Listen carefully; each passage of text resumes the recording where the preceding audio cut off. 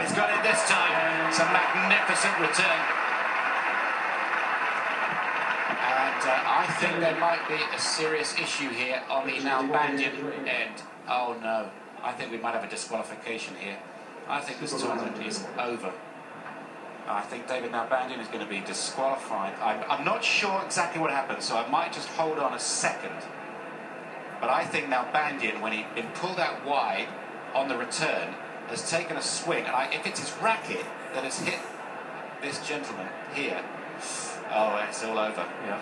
We've got a champion here in Marin Cilic, and Nalbandian's in some serious trouble.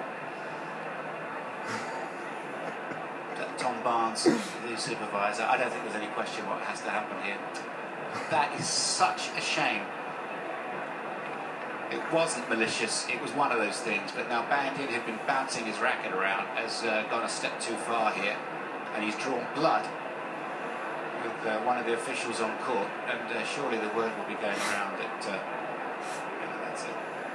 What can I do, says Tom Barnes, surely. Yeah. Oh, God, that's such a shame.